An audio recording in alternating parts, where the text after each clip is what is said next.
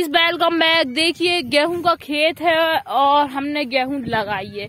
अब आपको पता होगा कि गेहूँ की प्रजाति टिटिका मैस्टिवम होती है और 48 इसके क्रोमोसोम नंबर होते हैं, लेकिन गेहूँ भी अलग अलग टाइप के होते हैं। इमर गेहूँ ड्यूराम गेहूँ अलग अलग टाइप से गेहूँ होती है। ये हमारा खेत है और ये फ़ील्ड में गेहूँ लगाई है।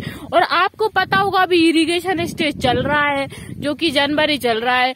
आपको पता होगा कि इरिगेशन की भी इसमें छह मेथड लागू होती है। सी आर आई अवस्था टिलरिंग ज्वाइंटिंग फ्लॉवरिंग अलग अलग टाइप से देते हैं। जिसके पास, जिस किसान के पास जितना पानी लागू होता है, वो उतना देता है।